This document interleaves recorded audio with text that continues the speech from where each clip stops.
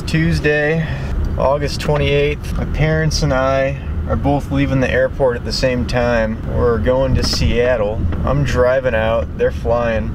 They're gonna drive back, I'm gonna fly home. They're gonna arrive at 7 p.m. today.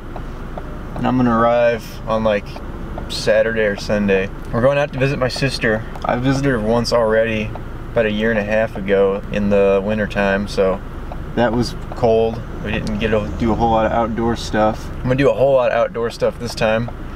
I'm gonna hit up a couple national parks along the way. I'm gonna try to camp every single night. I don't wanna stay in a hotel. So I'm headed west now. I'm gonna be on Highway 70 for the next day, basically. I'm gonna be well acquainted with this rental car by the end of this week.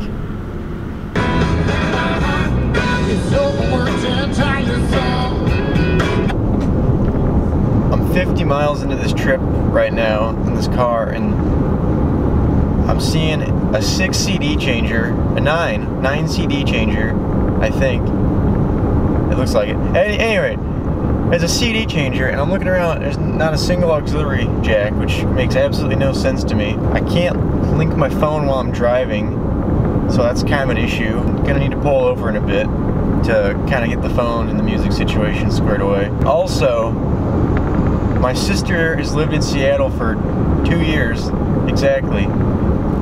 And I'm somehow driving stuff out to her. That's like a moving van, basically. My plan was to possibly sleep in this tonight. Yeah, I've got no issue with curling up in the back seat. Done it before in a smaller vehicle. It's just a matter of having room to do that. But I don't know if that's really going to be an option given all the stuff in here, which probably about 15% of is my actual stuff for a 10 day trip. I don't know. People need to pack lighter.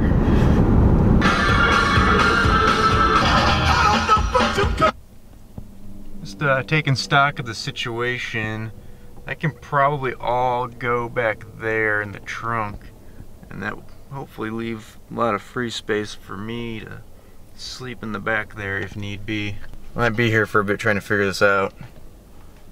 Oh, so much stuff.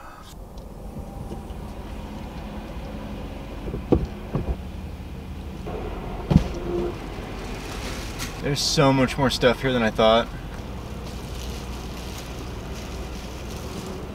Took me about 10 minutes and two attempts, but back seat is clear. Everything fit in the the back, the trunk area, I guess. Issue number one is resolved. Now I gotta try and figure out this uh, this uh, sync stuff so I can have some tunes and then I'll be well on my way. Phone is paired. So everything is uh, in order for proper road trip now.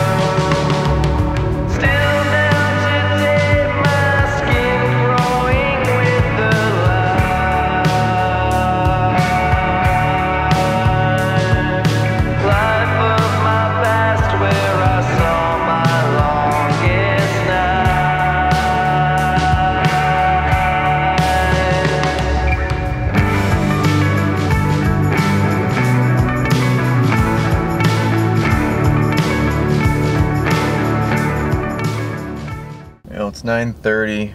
I'm about right in the middle of the state of Kansas along Interstate 70. Been awake for a while now. Been running off with two hours of sleep, so I think I'm gonna turn in for the night. curl up in the back. So we'll see uh, how much sleep I can get. Got a pretty cozy setup back here in the rear seat of the Ford Escape. Should make for a decent couple hours of rest. It's 5.30 in the morning. This rest stop outside of Garfield, Kansas. I slept about almost eight hours in the back seat here. Pretty comfortable, really. Scrunched up pretty good, but just roll over and find a new spot to get comfortable and go back to bed. I'm pretty awake, I feel pretty good, so I may just hit the road. It's like actually chilly out. Great for sleeping.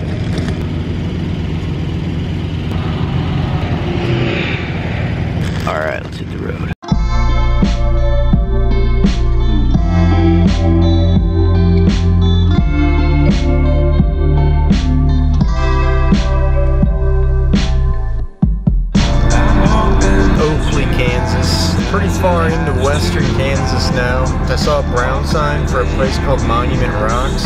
I'm gonna go there. I don't really have a like a schedule or any sort of time frame on stuff to do, so anything that looks cool, sounds cool, I'm probably just gonna pull over and check it out. And this is one of those uh, places. Hopefully. To cry on return from sleep.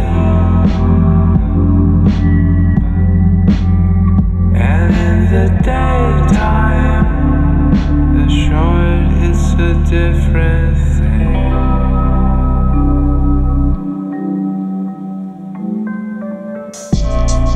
So when it snows, Lots of cows out here. in jealous.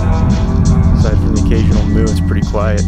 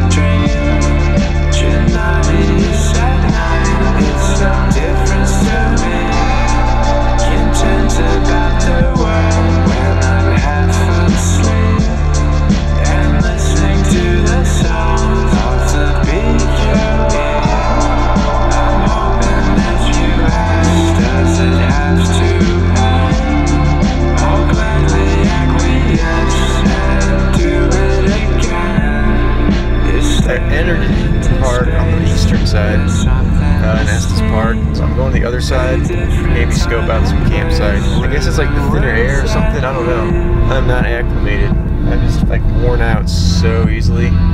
At any rate, the driving is pretty top notch.